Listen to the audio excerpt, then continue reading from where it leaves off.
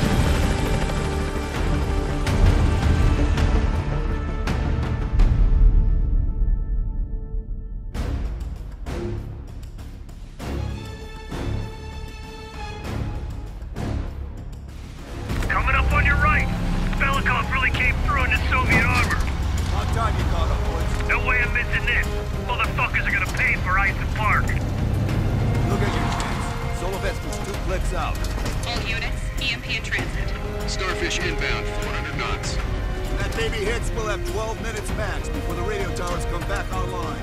Our job is to knock out the AA guns and give our warbirds a clean shot. Let's take Perseus off the air.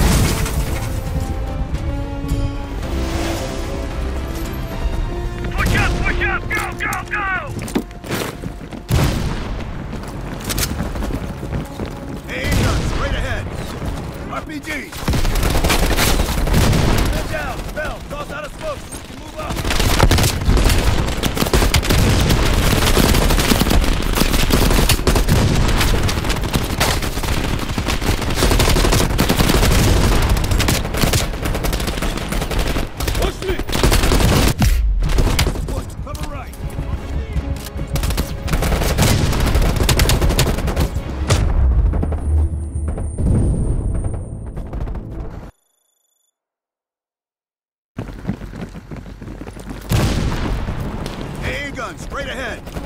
RPG!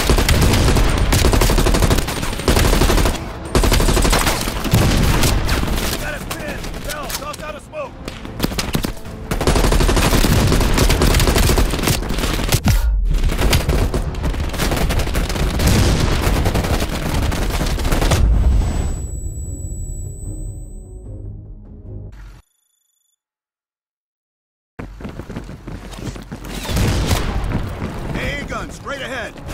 RPG!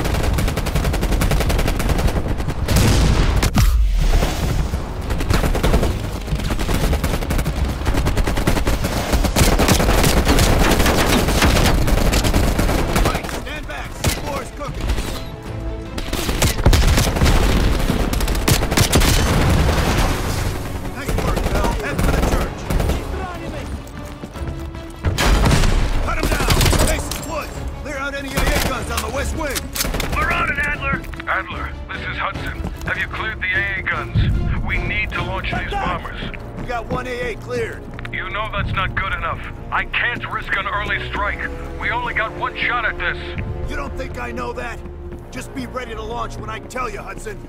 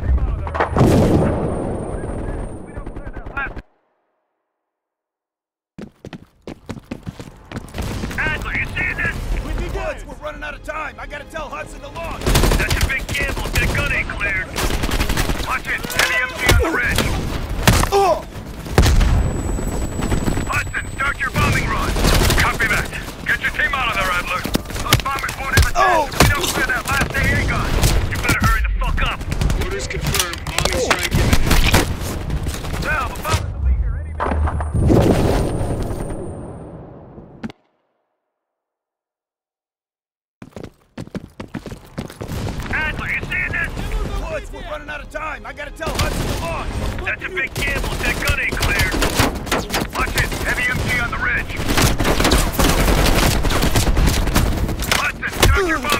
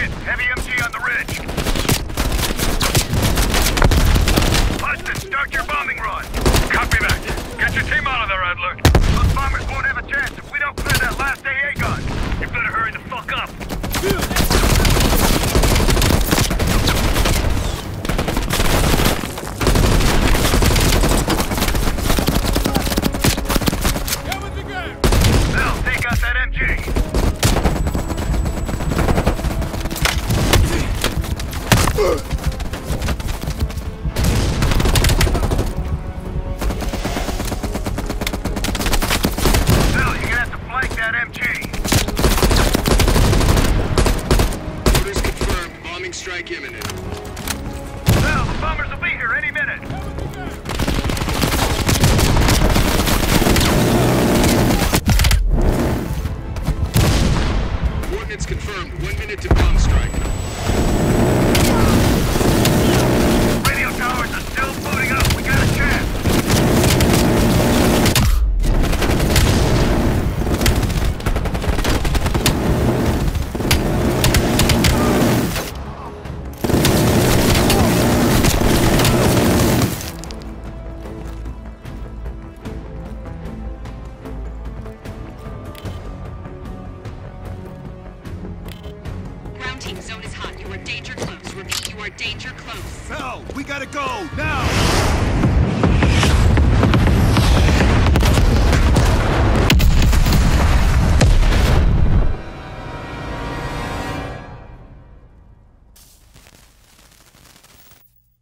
They did it, Mr. President. They stopped the nukes. Thank God. And the CIA. Did they get Perseus? No, sir. His whereabouts are unknown. And a Russian response? Nothing yet. We're seeing signs of confusion. It's possible this was all a rogue operation. Perseus may not have been following orders from Moscow. Well, I'll be damned. Maybe we have something in common after all.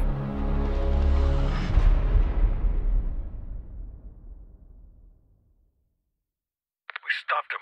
Those towers are history. What's your situation down there? Come in.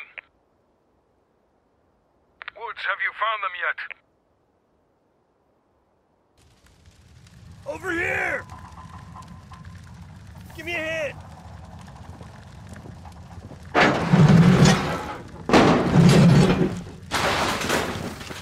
Take my hand, Bell. We did it. This is a message to Perseus, and those that'll follow him. We don't just sit back and hope for the best. We'll make the best happen. This is how wars are won, Bell.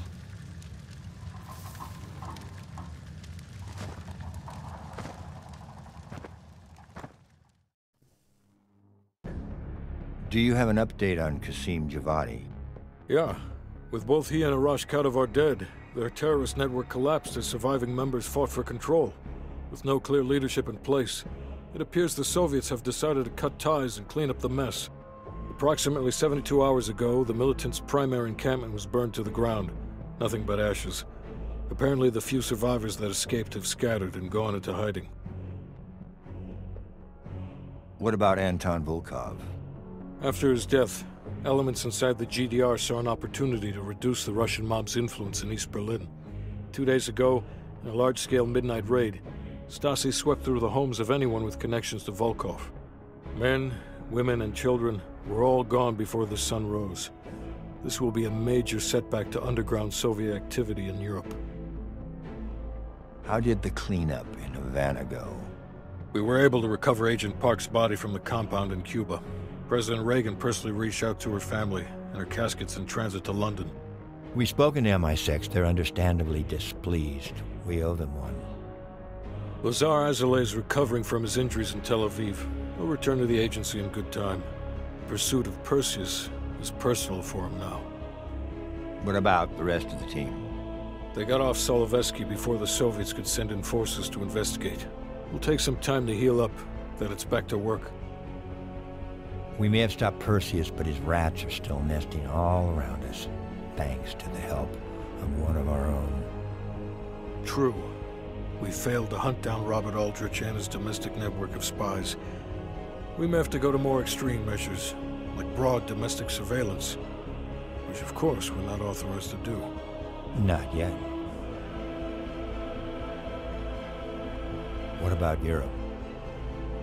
We may have saved it from getting blown to Kingdom Come, but it's still stacked with Perseus's agents. There's more we could have done there if we'd had the time.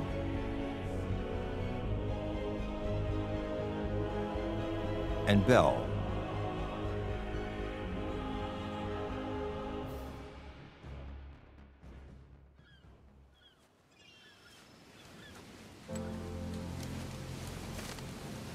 Arctic air. Clears the head, doesn't it?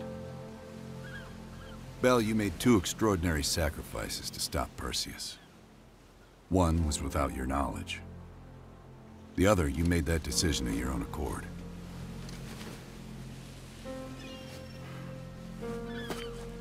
I just want you to know that this little thing that's happened with you and me, it was always for the greater good. You're a goddamn hero, you know that, kid. Heroes have to make sacrifices. That's why when I ask you for one more, I hope you understand. It was never personal.